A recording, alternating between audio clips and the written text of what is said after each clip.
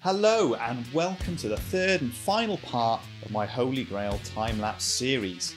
In part 1 I covered gear and how to power it, and in part 2 I covered a number of topics including composition, setting up and settings.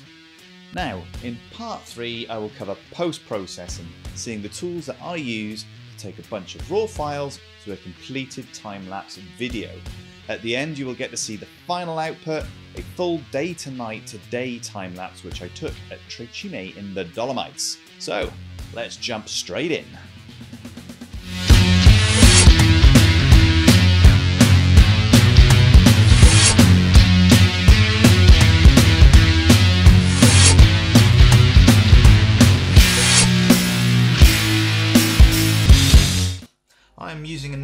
Applications here to process the images into the final video.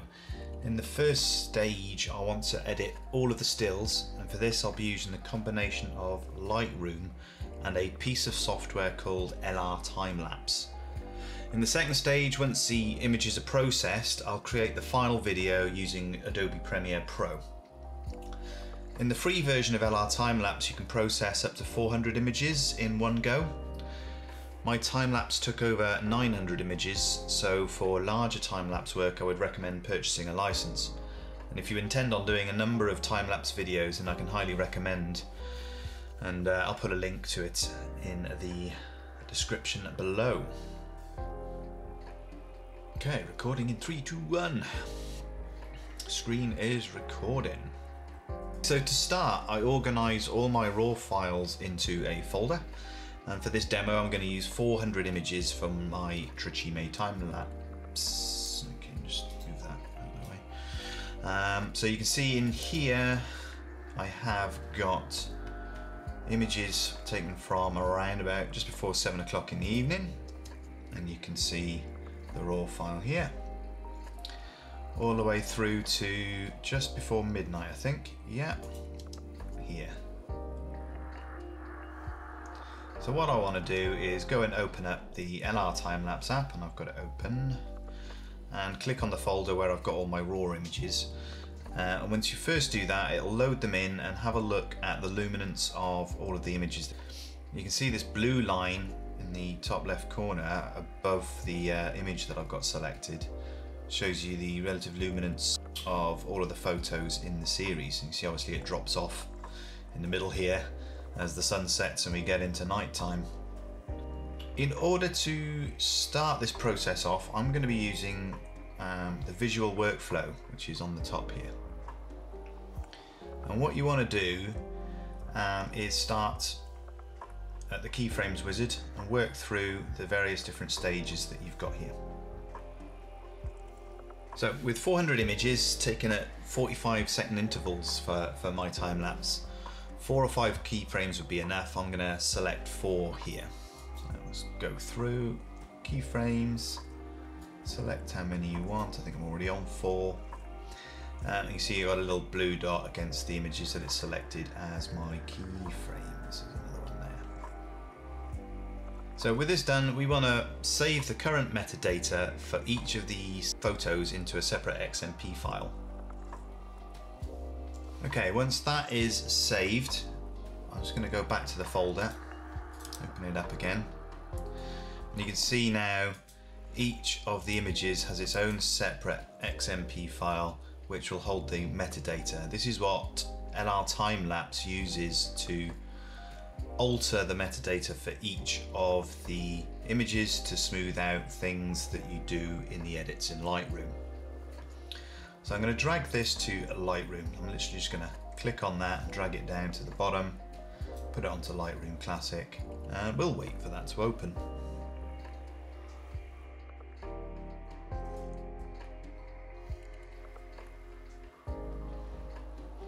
Twenty minutes later. Okay, so we finally imported the images into Lightroom. And on the library tab, um, you have these filters at the top and if you've installed LR time lapse correctly you'll have a couple or a few um, extra filters that appear up here. You want to select the one that says LR T5 keyframes if you're using LR time lapse version number five. So I'll select that. And you can see now I've only got the four images that I originally selected as the keyframes and these are the ones that we're going to go ahead and edit. So I'm going to go into the develop tab. if you watch the second video you'll notice that the nighttime scenes are are very orange. The white balance is way too high in these images. So what I want to do is bring that white balance down. And what LR time lapse will do gradually is move the settings that I make from each photo to the next and, and, sort of graduate those changes. I'm going to select the first one. Uh, just maybe do a bit of auto, see what happens. There you go. Maybe do a little bit of curves. And what I definitely want to do is enable the profile correction. So I was using the Samyang 14mm. And go ahead and make any other edits that you want to make. Once you've done the first image, you'll see that you have a scripts section at the top here. A couple of scripts have come from LR Timelapse. What you want to do is select the first and then the second photo, or the one you've just edited and the very next photo that you're going to edit, and click Sync Keyframes script. Just copies over the settings from one to other. So if I go to the second one now, you can see that the white balance isn't too high, but maybe a little bit high still. So 4,800, let's bring that down to 4,000. And I also want to start boosting the shadows at this point as well. And bring that into play. Now, an important thing to note here is that I wanted to use graduated edit masks, these graduated masks here, to change the night sky and not affect the foreground. And if you do want to use these graduated masks, what I found was is that I had to put a mask on the first image, not make any edits, and let that copy over to the second one. If the second image had a graduated mask on it, and the first one didn't, the, the, the graduated mask would spin around in the final edit as it came out of LR timelapse. So that's just one thing I would like to note. I'm going to assume that all my keyframes are now edited. So I'm just going to edit them quickly.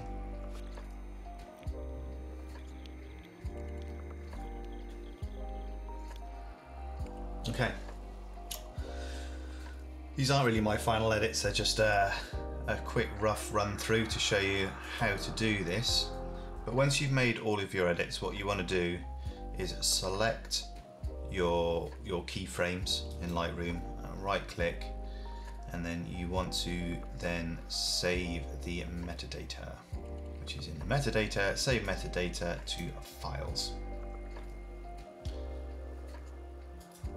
What this will do is transfer those settings and changes and edits that you've just made within Lightroom back into LR Timelapse. So with that done, back to LR Timelapse. And we're going to pick up the workflow. I'm going to click reload here and that will bring the, the metadata from the XMP files that we just saved in Lightroom back in. And we should see some changes on the right hand side here where those settings will now be visible. One I'm going to pick on is white balance temperature because that was a clear and obvious um, thing that needed to be changed when you looked at the raw footage from uh, part two. So if I go in here to show you the white balance temperature, I've got these little ticks where the white balance has changed on the keyframes. Now we go ahead and click auto transition. So this is really where the magic happens on LR time lapse. It'll auto transition all of those settings that we made and the changes that we made in Lightroom from one uh, photo to the other. So as you can see, we made some changes to the white balance and this has now altered the line of the white balance. So you can see the first one's at 4,800, the second one's at 4,793. You can work this out manually if you've got a, a large exercise book, plenty of pencils, maybe a calculator, and do each one manually in Lightroom. But that is a massive ball ache. So th this piece of software does it for you. Is fantastic. So with that done, you can then move on to doing the visual preview. So that will render all of these images into the top left thing here so you can have a quick preview of what the time lapse will look like. So while this visual preview is still rendering, I'm going to talk about the last little bit here. So to finish the workflow, obviously we do the visual preview um, and then we can check what the video looks like what the final output is going to look like based on our edits and based on what LR Timelapse has decided the transition between those edits is. Then we will use the visual deflicker which will fine tune the changes in exposure between each frame. Something that will really help if you shot your time lapse on aperture priority and the metering wasn't quite up to scratch and you've got some jumps in exposure, this will even it out. So once this is done, you should then go back into Lightroom. I'm doing it a little bit early, but I'll go here anyway, and back into the library. We can now remove that filter for the keyframes to have a look at the full sequence. The final stage before I go to Adobe Premiere is to take all of the images, put them into JPEGs so I can then render them in the final video. So go into the library, select all of the images, right click, go to metadata and ask it to read the metadata from files. So what it'll be reading is all of the settings that LR Timelapse thinks these should have. Click read and it'll bring in all of those changes. Now what I'll do is just export them as JPEGs and then pump them into Adobe Premiere Pro. Look at that. As if by magic, I now have 400 processed images on my desktop. Now these are the ones that I've actually spent some time working through. And I've got 400 JPEGs. Now what I want to do is jump into Adobe Premiere Pro. Here, I've got a project set up. I'll go to my media browser. And what I want to do is find my desktop, 400 processed images, and import them into my project. Once I've got that, I will need to create a new sequence. Now we have a load of different templates that you can use, but they won't be the same size as the images that you've taken out of your camera. So what you want to then go and do is create a custom sequence, but with the pixel dimensions of your final images. To do this, go into settings on the new sequence, editing mode custom, how many frames per second? I would suggest 25 for a time lapse, 25 or 24 is fine, and then set your frame size. 4240 by 2832 and click OK. We then have our new sequence where we're going to drop in all of the images. Now what I want to do is go to my images that are in the media browser here and select them all and then click this button here called automate to sequence. Once you click that you'll have this little pop-up. Now I selected them from 400 to 1 so I don't want to do it in selection order so I'm going to do it in sort order.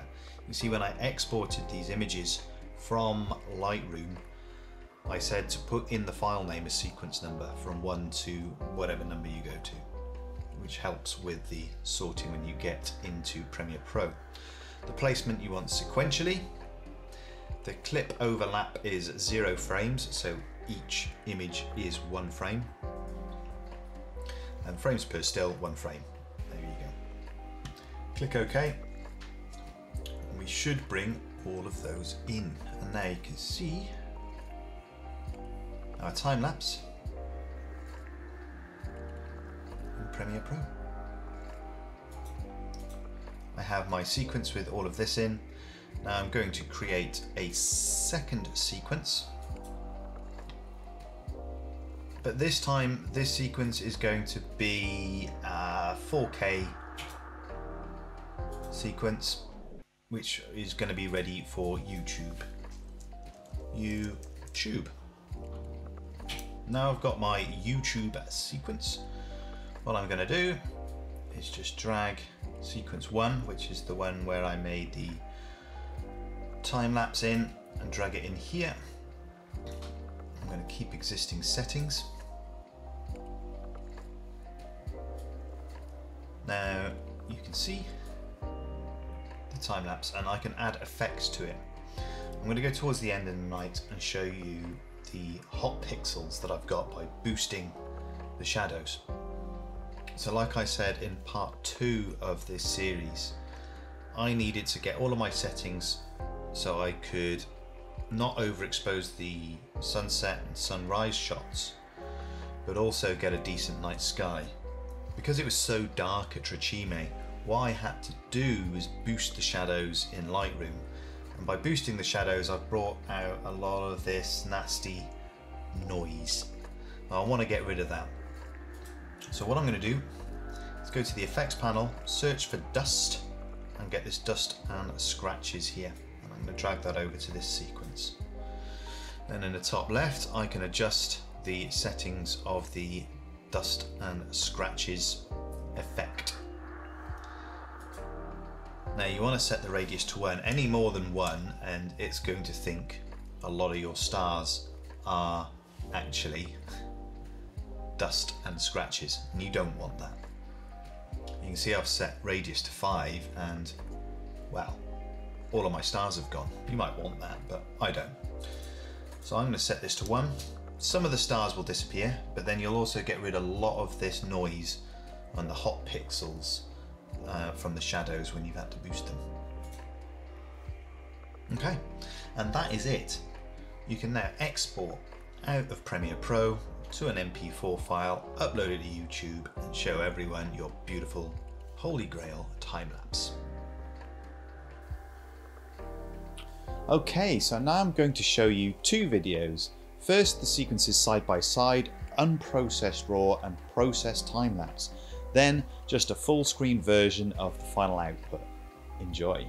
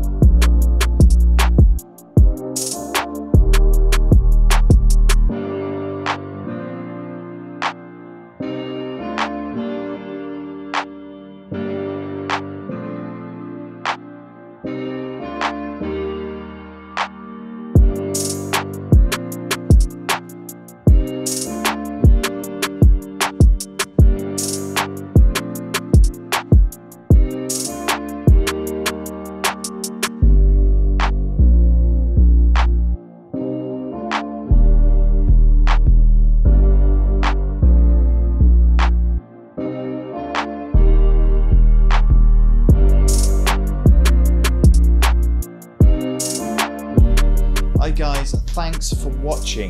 I hope you found this useful. If you did, please drop me a, a like or a subscribe.